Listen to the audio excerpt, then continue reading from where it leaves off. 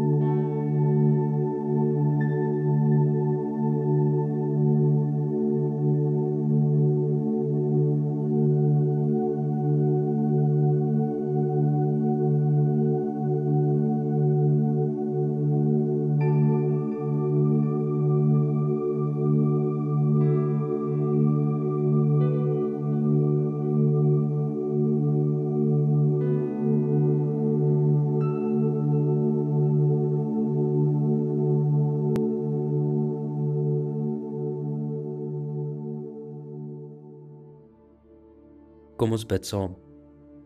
Heilige Here, kom maak oop my hart. Maak ontvanklik my siel. En maak skerp my verstand. Dat ek vandag vir U beter kan leer ken. In Jesus naam alleen. Amen. Handelinge 18. Hierna het Paulus Athene verlaat en na Korinthe toe gegaan. Daar het hy vir Aquila 'n Jood wat in Pontus gebore is, ontmoet. Hy het kort tevore saam met sy vrou Priscilla uit Italië daar aangekom, nadat keiser Claudius beveel het dat al die Jode Rome moet verlaat. Paulus het hulle gaan soek. En omdat hulle net soos hy tentmakers van beroep was, het hy by hulle ingetrek en saam met hulle gewerk. Maar elke Sabbat het hy in die sinagoge met die mense geredeneer en Jode en Grieke probeer oortuig. Nadat Silas en Timoteus van Macedonië afgekom het, het Paulus al sy tyd bestee aan die prediking om die Jode daarvan te oortuig dat Jesus die Christus is. Maar toe hulle hulle aanhou verset en hom beledig, het hy die stof uit sy klere afgeskit en vir hulle gesê: "As julle verlore gaan, is dit julle eie skuld. Ek kan vaar nie die verantwoordelikheid daarvoor nie. Van nou af gaan werk ek onder mense wat nie Jode is nie." Toe het hy die sinagoge verlaat en na die huis toe gegaan van die godsvreesende man met die naam Titius Justus. Sy huis was net langs die sinagoge. Crispus, die hoof van die sinagoge en sy hele huisgesin het tot geloof in die Here gekom. Ook baie ander mense in die Korinte wat die boodskap gehoor het, het gelowig geword en is gedoop. Eendag het die Here in 'n gesig vir Paulus gesê: Moenie bang wees nie. Hou aan met preek en moenie stil bly nie, want ek is by jou. Niemand sal jou aanval of jou kwaad aandoen nie, want in hierdie stad behoort baie mense aan my. Paulus het 'n jaar en 6 maande lank daar gebly en die mense onderrig in die woord van God. Nadat Galileo goewerneur van Agie geword het, het die Jode egter soos een man teen Paulus in opstand gekom en hom voor die hof gebring. Hierdie man het hulle gesê: probeer die mense oorhaal om God op 'n manier te vereer wat in stryd is met ons wet. Paulus wou praat, maar toe sê Galileo vir die Jode: As dit oor 'n onreg of 'n ernstige misdaad gegaan het, was dit my plig om geduldig na julle Jode te luister. Maar aangesien dit 'n gerede kawel is oor woorde en name en julle eie wet, moet julle self hier daaroor beslis. In sulke sake wil ek nie regter wees nie. Daarna het hy hulle uit die hof uitgejaag. Hulle het toe almal vir Sostenes, die hoof van die sinagoge, gegryp en hom net daar voor die regbank aangerand. Galileo het hom egter niks daaraan gesteer nie. Vers 18 Nadat Paulus nog 'n tyd lank daar by die gelowiges in Korinthe gebly het, het hy van hulle afskeid geneem en saam met Priscilla en Aquila na Siria toe vertrek voordat hy in Kesarea aan boord gegaan het en hy sy hare laat afsny omdat 'n gelofte wat hy afgelê het vervul was. By hulle aankoms in Efese het Paulus sy reisgenote verlaat en in die sinagoge ingegaan waar hy met die Jode geredeneer het. Hulle het hom gevra om langer te bly, maar hy wou nie. Hy het van hulle afskeid geneem en gesê: "As God wil, kom ek na julle toe terug." Hy het van Efese weggegaan en in Caesarea aangekom. Daarvandaan het hy Jerusalem toe gegaan en die gemeente gegroet en toe na Antiochië toe vertrek waar hy 'n tyd lank gebly het.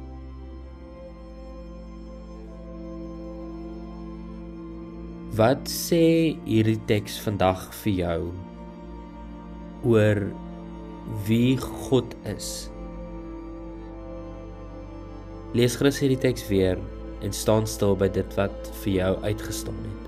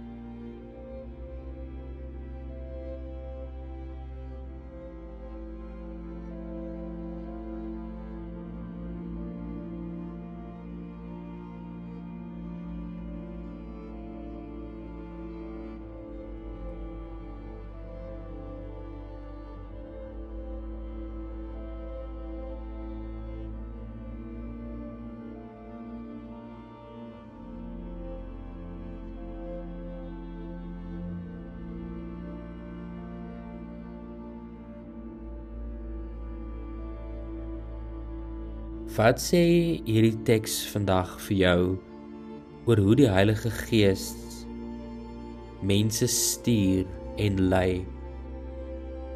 Dink dalk na oor hoe Paulus se storie sy beroep, sy lewe en sy getroue volging van Jesus strook met jou lewe.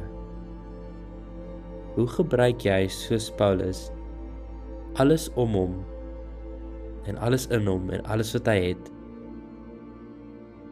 om die evangelie aan hierdie wêreld te vertel.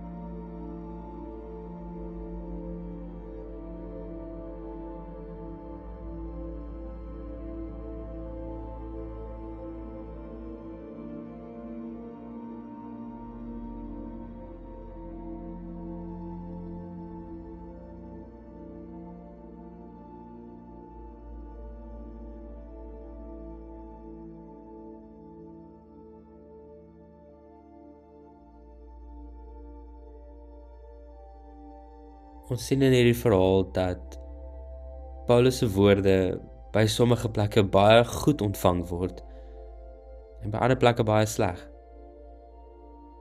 Dis dalk iets wat elkeen van ons ook al in ons lewe teëgekom het waar ons vir dieselfde dinge waarvoor ons staan by een groep mense geprys word maar by 'n ander groep mense eintlik op neergekyk word. Wat beteken dit vir jou vandag om konstant te bly in jou geloof ten spyte van hoe die mense om jou reageer goed of sleg? Wat beteken konstantheid, standvastigheid in geloof vir jou?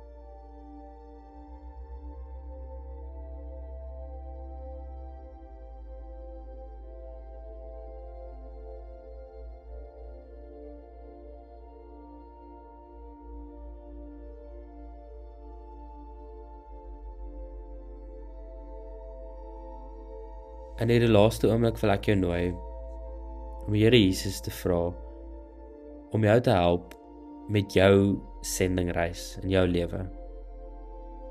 Ons almal word tog ook gestuur om kerk te wees vir hierdie wêreld. En om dit wat ons het en dit wat ons is toe te span om God se koninkryk aarde te bring. Die wonderlike ding is ons doen dit nie op ons eie nie. Die Heilige Gees is ook met ons. In die laaste oomblik vra vir die Here vir moed en vir wysheid en vir geduld en standvastigheid om getrou ook 'n ligdraer vir Christus in hierdie wêreld te wees.